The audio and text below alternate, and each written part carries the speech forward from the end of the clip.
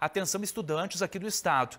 Quase 4 mil vagas de estágio estão disponíveis no Paraná. São oportunidades para alunos do ensino médio, técnico e também superior.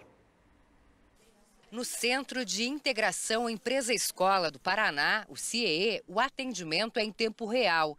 As empresas abrem as vagas estágio. Elas são divulgadas no site e já estão disponíveis para o estudante interessado retirar o encaminhamento. Hoje, mais de 3.800 vagas de estágio estão abertas no estado. São oportunidades para estudantes que estão cursando ensino médio, técnico e superior. As áreas com mais vagas de estágio são pedagogia, administração, ciências contábeis, marketing e tecnologia da informação. Agora, no início do semestre, as empresas começam a reposição dos estagiários que se formaram é, no mês de julho e junho. Então, elas fazem o cadastro das vagas no portal e nós fazemos o encaminhamento desses candidatos. Cerca de 29.700 estagiários já atuam no estado. De acordo com o CIE Paraná, 71% desses contratos foram firmados somente no primeiro semestre deste ano.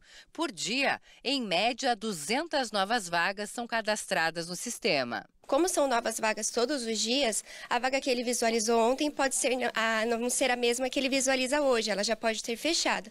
Então, se ele quer realmente um estágio, ele tem que ficar acessando o portal diariamente para conseguir essa vaga. A Fernanda ainda destaca que esta é uma porta de entrada para o mundo do trabalho. Cerca de 60% dos estagiários são efetivados as empresas estão em busca de novos talentos, então é importante que ele se dedique, é, seja comprometido, né, e realmente mostre todo o conhecimento que ele tem adquirido dentro da sala de aula.